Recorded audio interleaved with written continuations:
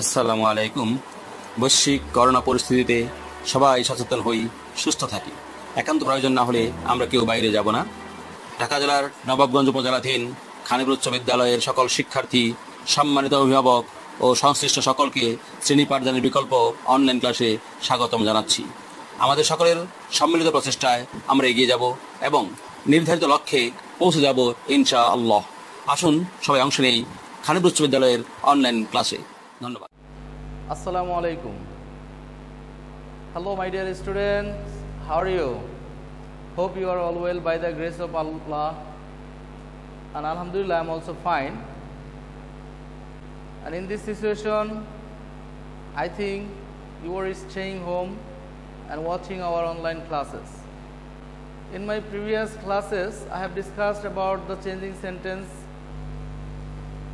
and especially I have discussed about the simple, complex and compound sentences and how to change them without any rules and easy way. And today I'm just going to discuss about a different topics. Before that, look at the board and like every day today i'm going to describe my class in bengali also প্রিয় শিক্ষার্থীরা বোর্ডের দিকে একটু লক্ষ্য করো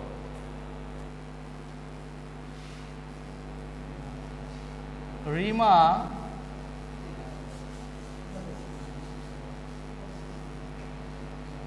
reads a novel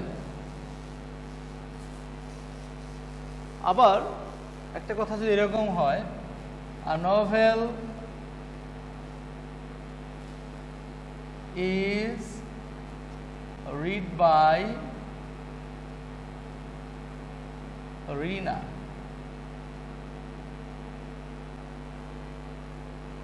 প্রিয় শিক্ষার্থীবৃন্দ, দুটো সেন্টেন্স এখানে দেখা যাচ্ছে। প্রথম কথায়, রিমা রিডস আ নোভেল তো দ্বিতীয় সেন্টেন্স আমরা দেখি আবার a novel is read by Rima এই ক্ষেত্রে রিমা সক্রিয় হয়ে কাজ করতেছে, আর দ্বিতীয় ক্ষেত্রে রিমা নিষ্ক্রিয়। তাহলে এতক্ষণ নিশ্চয়ই বুঝতে পেরেছ আমাদের আজকের টপিক্সটা কি? আমাদের আজকের টপিক্স হচ্ছে ভয়েস চেঞ্জ ভয়েস চেঞ্জ বাংলায় যদি বলি, তাহলে হয় বাচ্চ পরিবর্তন। ভয়েস অর্থ বাচ্চ আর চেঞ্জ মানে পরিবর্তন। তাহলে বাচ্চ পরিবর্তন। যখন কোনো কথা একটা বর্ণনা আসবে, সেখানে বক্তা জরুরি নয়। এই সকল ক্ষেত্রে আমাদের প্যাসিভ ভয়েসটা আমরা ব্যবহার করে থাকি। আর যখন বক্তাটা জরুরি, সক্রিয়ভাবে বক্তার কোনো উপস্থাপন প্রয়োজন হয়, তখন আমরা অ্যাক্টিভটাকে ব্যবহার করে থাকি। তো আমরা এখন বুঝতেছি এই ভয়েসকে আবার দুটো ভাগে ভাগ করা হয়, একটা অ্যাক্টিভ ভয়েস আর একটা প্যাসিভ ভয়েস। যদি পরীক্ষায় অ্যাক্টিভ থাকে, তাহলে তোমাকে প্যাসিভ করতে হবে। আর যদি প্যাসিভ থাকে, সেটাকে আবার তোমাকে অ্যাক্টিভ করতে হবে। কাজে অ্যাক্টিভ প্যাসিভ দুটো সিস্টেমই তোমার জানা থাকতে হবে। এখন, অনেকেই মনে করে ভয়েস চেঞ্জটা খুব ক্রিটিক্যাল একটা বিষয়। আমি আমার বিগত ক্লাসগুলোতে চেঞ্জিং সেন্টেন্সে তোমাদের বলেছিলাম যে সারা বাংলাদেশে একই সমস্যা। চেঞ্জিং সেন্টেন্সে সিম্পল কমপ্লেক্স কম্পাউন্ডের মতো কঠিন কিছু নাই। আমি যে ক্লাসগুলো তোমাদের নেওয়ার চেষ্টা করেছি, এতদিনে তোমরা বুঝতেছ, আসলে চেঞ্জিং সেন্টেন্স বিশেষ করে সিম্পল কমপ্লেক্স কম্পাউন্ড কোনো কঠিন বিষয় নয়। যদি রোড থেকে বোঝা যায়, আমি বিগত ক্লাসগুলোর ন্যায় ভয়েস চেঞ্জটাকেও আমি তোমাদের সামনে এমন কিছুভাবে উপস্থাপন করার চেষ্টা করব, যেখানে আমি রোলসটাকে বেশি প্রাধান্য না দিয়ে আমি কয়েকটা প্যাটার্ন তোমাকে তৈরি করে দিব তোমাদেরকে। তোমাদের সামনে আমি কিছু প্যাটার্ন নিয়ে হাজির হব, যে প্যাটার্নের মাধ্যমে অনেক অনেক রুলস মুখস্থ না করে অল্প কিছু কথার মাধ্যমে আমরা ভয়েস চেঞ্জটাকে বুঝার চেষ্টা করব। তো চলো ভয়েস চেঞ্জ নিয়ে একটা ছড়া দিয়ে আজকে আমার এই ভয়েস চেঞ্জের ক্লাসটা শুরু করব। ভয়েস চেঞ্জ নিয়ে একটা সুন্দর ছড়া আছে। সেই ছড়াটা কি? অবজেক্ট বেটা সাবজেক্ট হয়ে খিলখিলিয়ে হাসে। সাবজেক্ট বেটা লজ্জা পেয়ে বাইরের পাশে বসে। মূল ভার সবসময় পাস্ট পার্টিসিপলে হয়। তার পূর্বে জেকে বসে অক্সিলারি মহাশয়। এই যে একটা চিরচারিত একটা প্রবাদ অথবা একটা ছড়ার মাধ্যমে আমরা এই ভয়েসটাকে শুরু করতে চাই। তো আমরা ছড়াটা তোমাদের সামনে উপস্থাপন করার চেষ্টা করলাম। বন্ধুরা, আমরা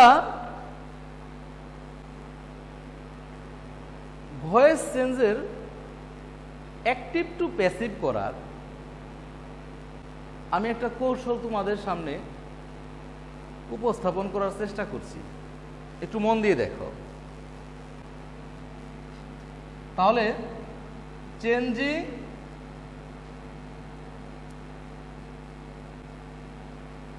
ইনটু passive.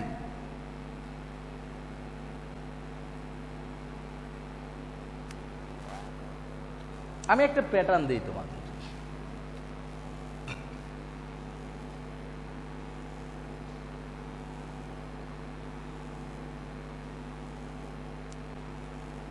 আর এই প্যাটার্নটা আমার নিজস্বভাবে তোমাদের সহজে বোঝার জন্য তৈরি করা। হয়তোবা বইয়ের যে গতানুগতিক নিয়মগুলো আছে, তার সাথে হয়তো আমার এই প্যাটার্নের তুমি মিল খুঁজে পাবা না, কিন্তু ভিত্তিগতভাবে কিন্তু এগুলো সেম হবে। আর এই একটা প্যাটার্নের ভিতরে অনেক কিছু ঢুকে যাবে। প্রথমে মনে রাখবা ভয়েস চেঞ্জের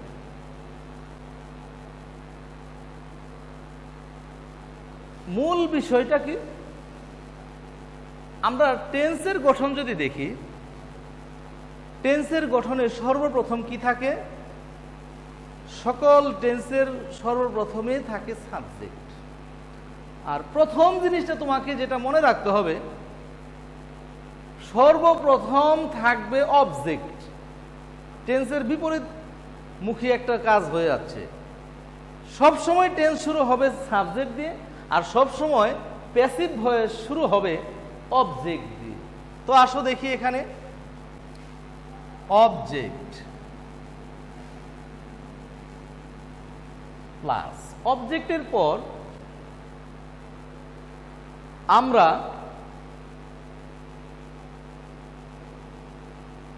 হেল্পিং ভার্ব অক্সিলারি ভার্বকে আমরা সংক্ষেপে এক কথায় হেল্পিং ভার্ব দিয়ে তোমাদের বোঝানোর চেষ্টা করব। অবজেক্ট প্লাস হেল্পিং ভার্ব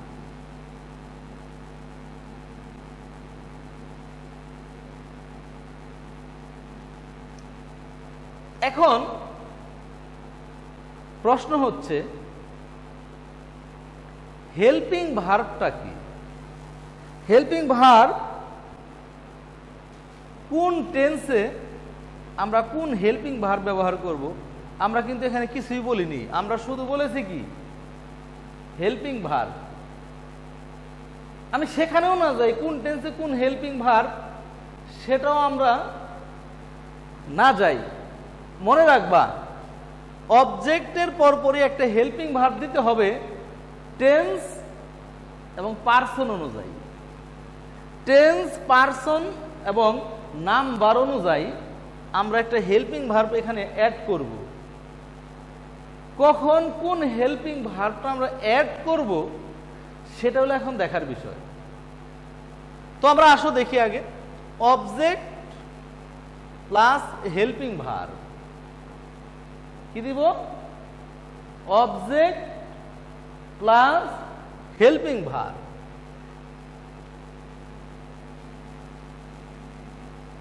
এরপরে আমরা যুক্ত করব, যদি সেন্টেন্সটি নেগেটিভ হয়, যদি সেন্টেন্সটি নেগেটিভ হয়, আমরা একটা নট যুক্ত করব। কি যুক্ত করব? আমরা একটি নট যুক্ত করব।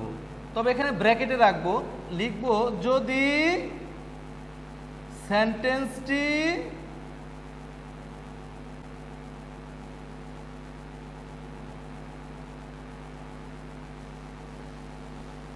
যদি সেন্টেন্সটি নেগেটিভ হয়,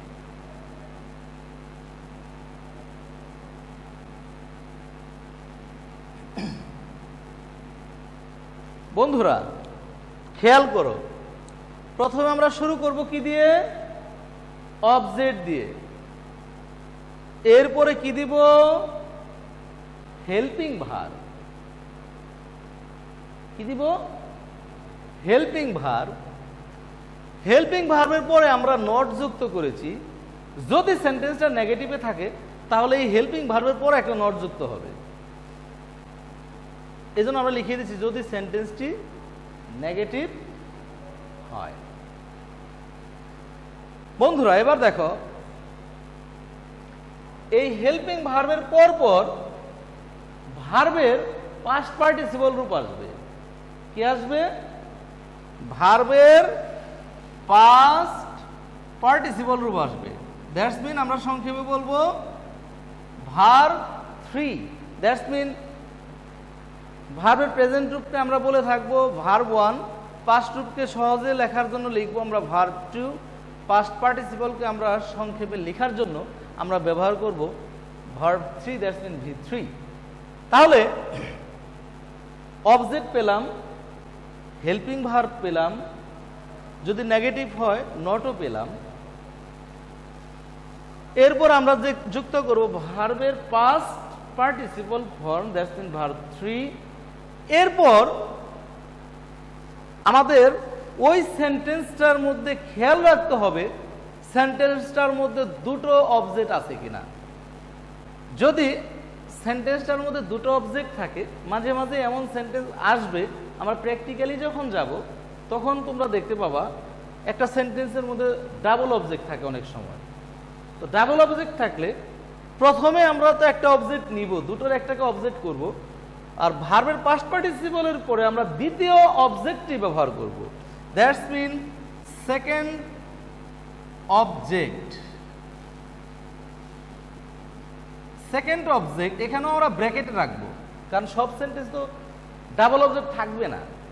এই জন্য সেকেন্ড অবজেক্ট আবার অনেক সময় এক্সটেনশন থাকে। অনেক সময় একটা সেন্টেন্সের মধ্যে এক্সটেনশন চলে আসে। তখন আমরা ভার্বের পাস্ট পার্টিসিপলের পরে সে এক্সটেনশনটা দিয়ে দিব।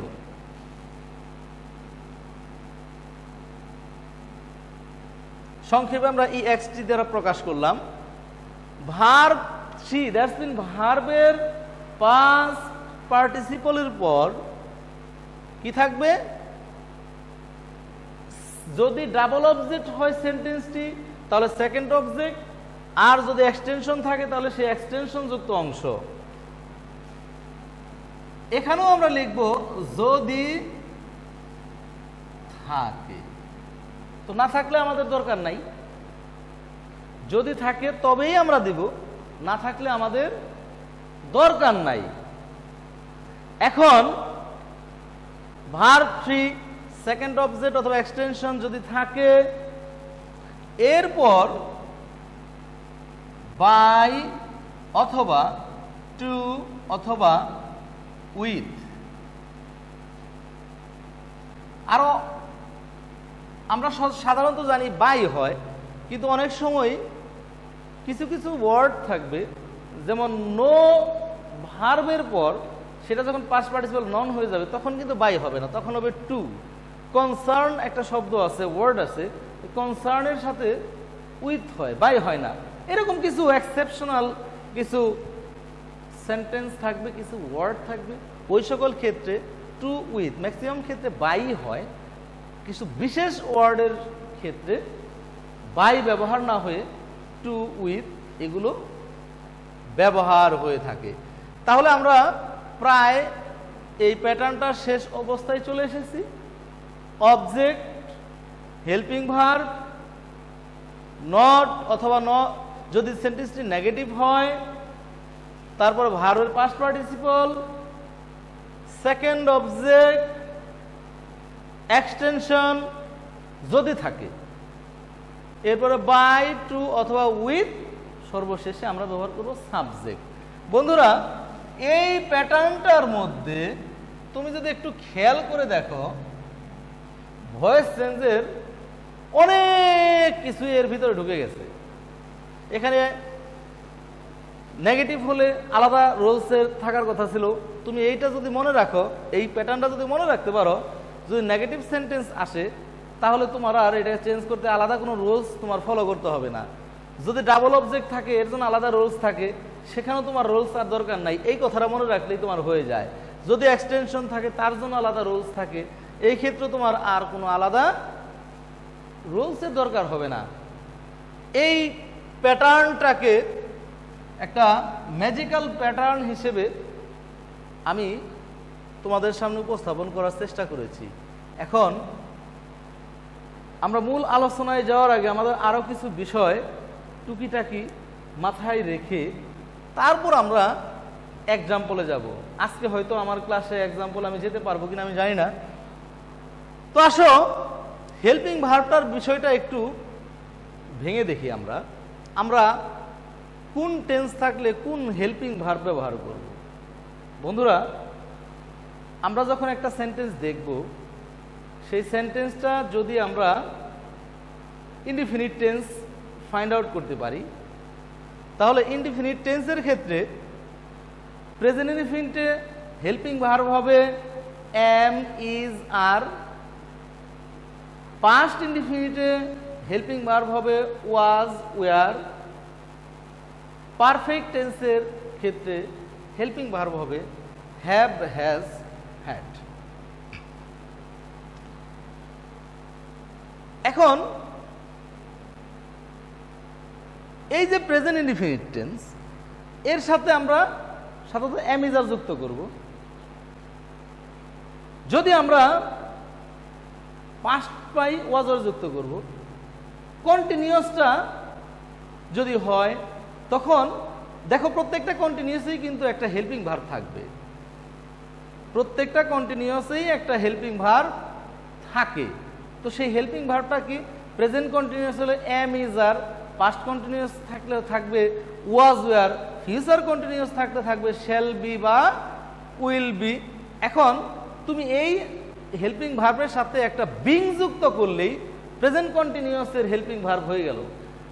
আর প্রেজেন্ট পাস্ট এবং ফিউচার পারফেক্ট টেন্সের ক্ষেত্রে সেখানেও কিন্তু একটা হেল্পিং ভার্ব থাকবে। হয় হ্যাভ থাকবে, না হয় হ্যাজ থাকবে, না হ্যাড থাকবে। শুধু এর সাথে একটা বিন যুক্ত করলেই পাস্ট পারফেক্ট টেন্সের বা প্রেজেন্ট পারফেক্ট টেন্সের বা ফিউচার পারফেক্ট টেন্সের হেল্পিং ভার্বগুলো সমাধান হয়ে যায়। বন্ধুরা, আসো, আমি আজকে কয়েকটা, এই কথাগুলো আমি একটু লিখিত আকৃতিতে প্রকাশ করে দিই তোমাদের। টেন্স অনুযায়ী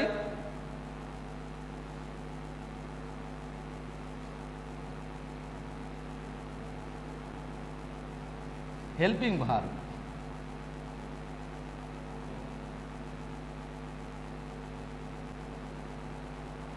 তো আমরা প্রথমেই খেয়াল করব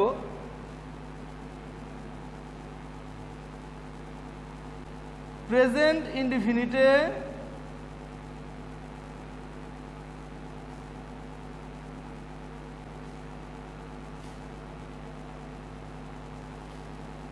অ্যামিজার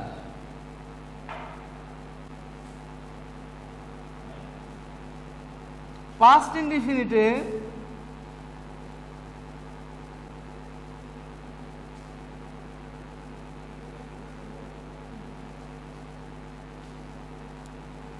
পাস্ট ইনডিফিনিটে হবে was were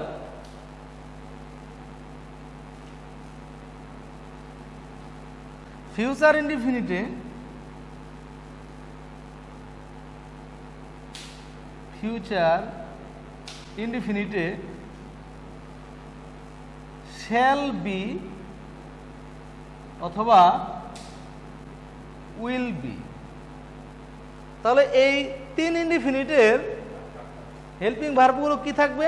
M is are present ইনডিফিনিটে পাস্ট ইনডিফিনিটে হবে ওয়াজ ওয়ার আর ফিউচার ইনডিফিনিটে হবে শেল বি বা উইল বি তো আসো, আমরা কন্টিনিউয়াসে চিন্তা করি।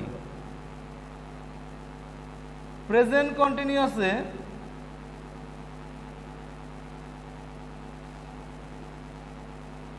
প্রেজেন্ট কন্টিনিউসে এম ইজ আর এই তিনটার সাথে যুক্ত হবে বিং তো পাস্ট কন্টিনিউসে ওয়াজ অথবা ওয়ারের সাথে যুক্ত হবে বিং ফিউচার কন্টিনিউয়াসে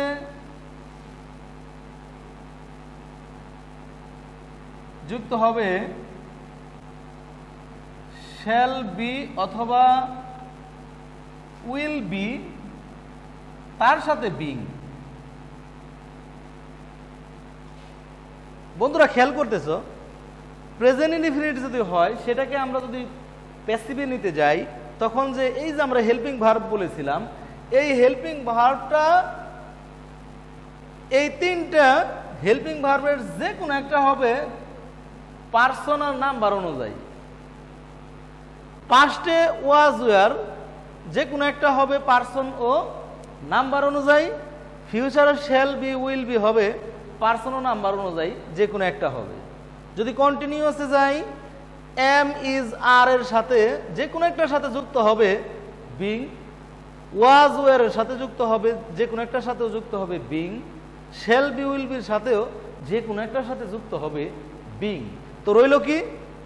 পারফেক্ট টেন্স তো আমরা যদি প্রেজেন্ট পারফেক্টে আসি, তাহলে দাঁড়াই কি?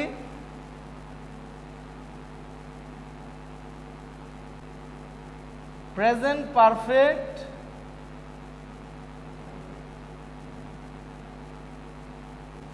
এখানে হ্যাভ বা হ্যাজ থাকে, সাধারণত আমরা জানি। তো হ্যাভ অথবা হ্যাজ এর সাথে যুক্ত হবে একটা been B double N been আর কন্টিনিউসে যুক্ত হয়েছিল বিং তো পাঁচটে যদি যাই, তাহলে আমরা পাই পাস্ট পারফেক্টে যদি যাই, ওখানে শুধুমাত্র কি থাকে? হ্যাড তার সাথে যুক্ত হবে বিন। যদি আমরা ফিউচার পারফেক্টে যাই, ফিউচার পারফেক্টে যদি যাই, তাহলে শ্যাল হ্যাভ অথবা উইল হ্যাভ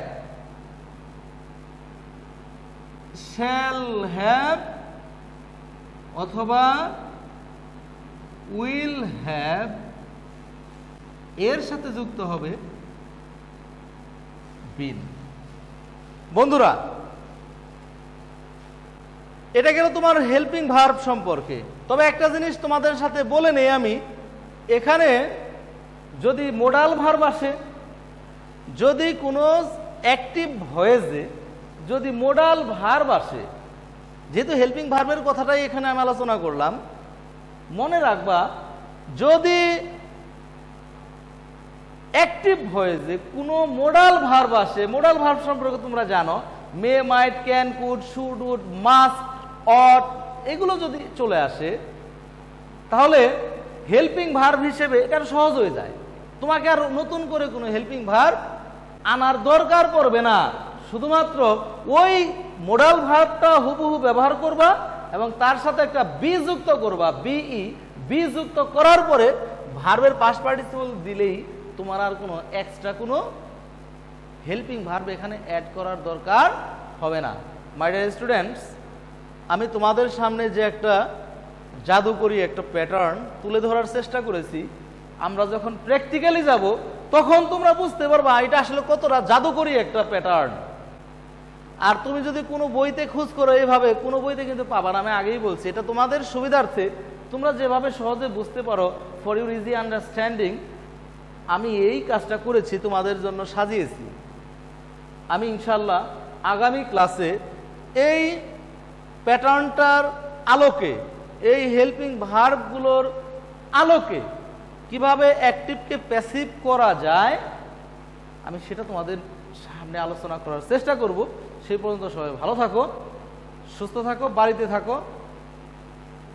যদি একেবারেই প্রয়োজন হয় বাইরে যাওয়ার মাস্ক পরে বাইরে যাবা এবং বাড়িতে আসার সাথে সাথে হ্যান্ড ওয়াশ বা সাবান দিয়ে হাত ধুয়ে পুরো জামা কাপড়গুলো সম্ভব হলে ডিটারজেন্ট দিয়ে ধুয়ে তারপর তুমি বাড়িতে প্রবেশ করো।